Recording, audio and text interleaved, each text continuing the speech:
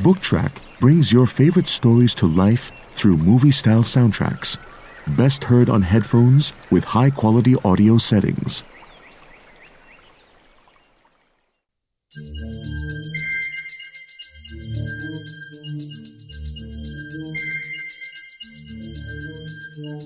Time Warner Audiobooks presents Chasing the Dime, written by Michael Connelly and read by Jonathan Davis. This is for Holly Wilkinson. Chapter 1 The voice on the phone was a whisper. It had a forceful, almost desperate quality to it.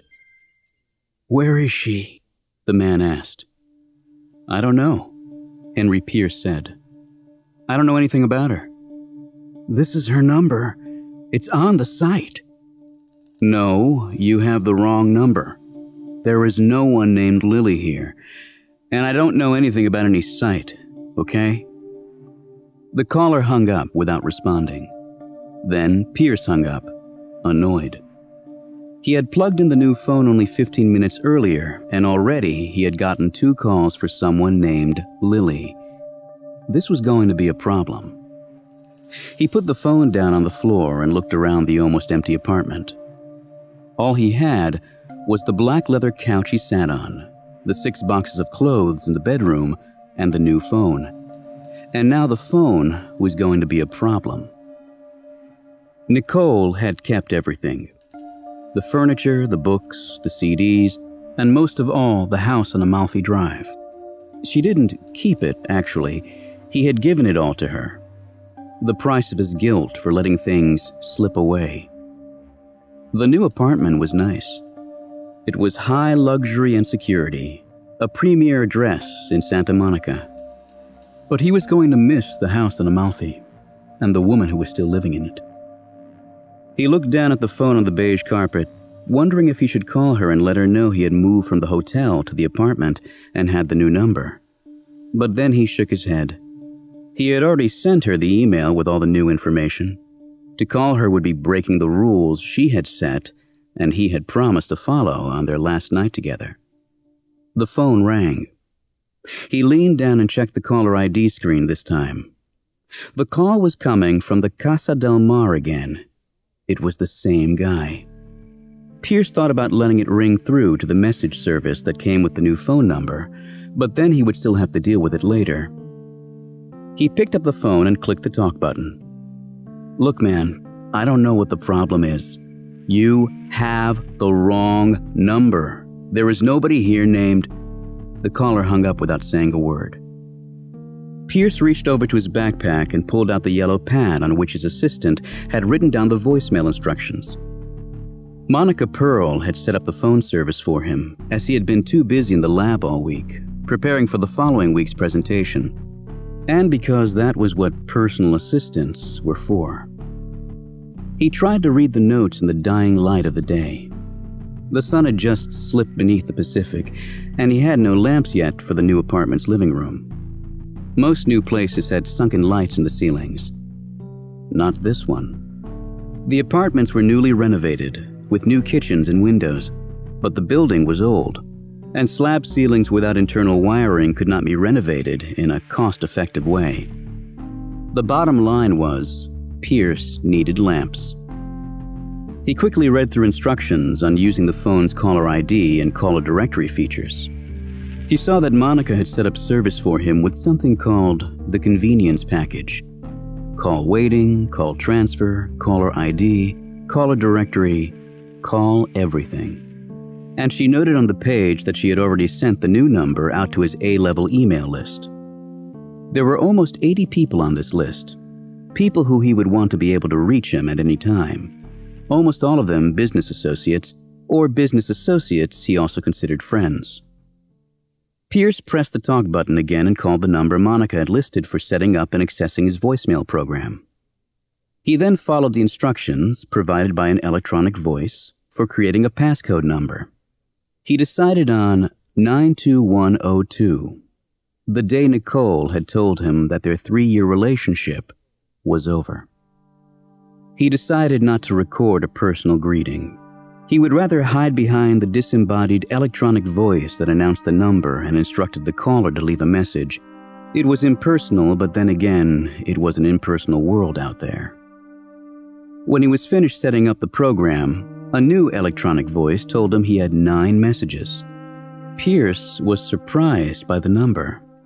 His phone had not been put into service until that morning, but immediately hopeful that maybe one was from Nicole. Maybe several. Maybe she'd had a change of heart. He suddenly envisioned himself returning all the furniture Monica had ordered for him online. He saw himself carrying the cardboard boxes of his clothes back inside the house on Amalfi Drive. But none of the messages were from Nicole. None of them were from Pierce's associates or associate friends either.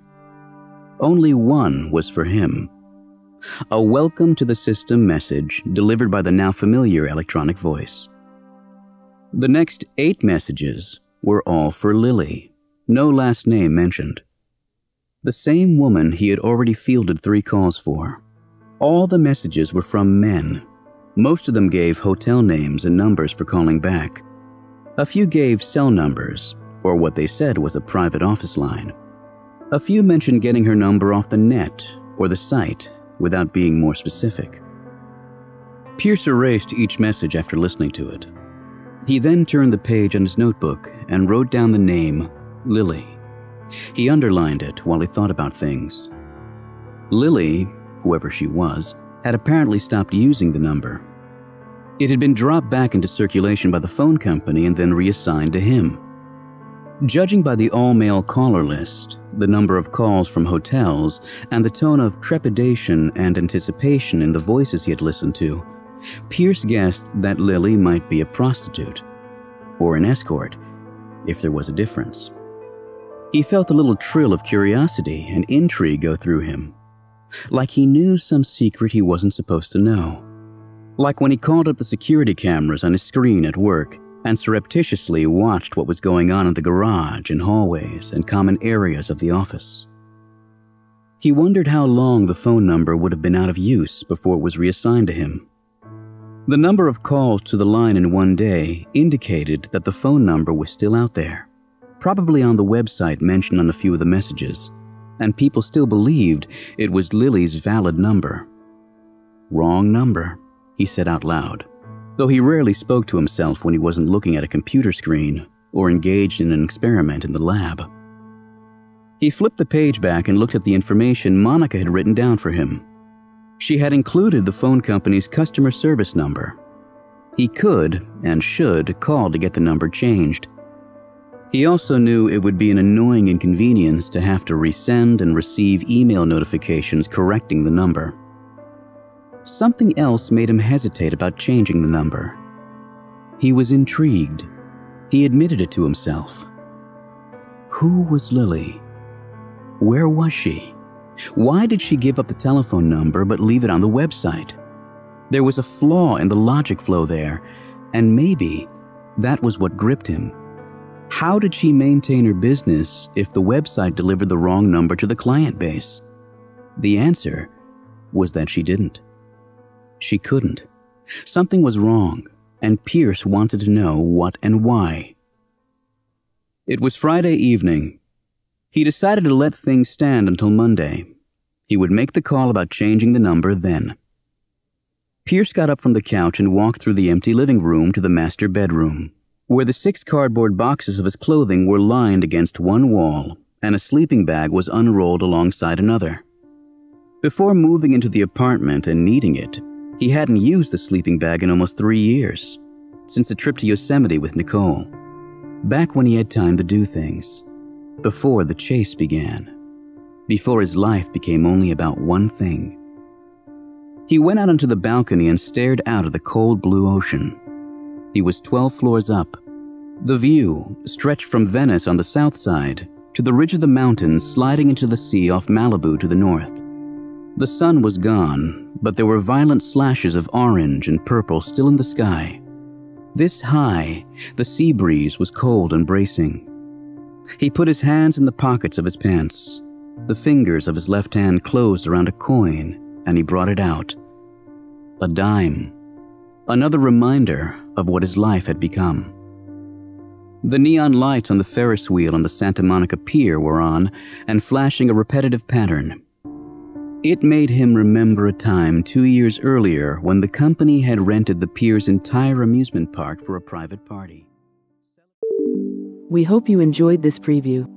To continue listening to this audiobook on Google Play Books, use the link in the video description.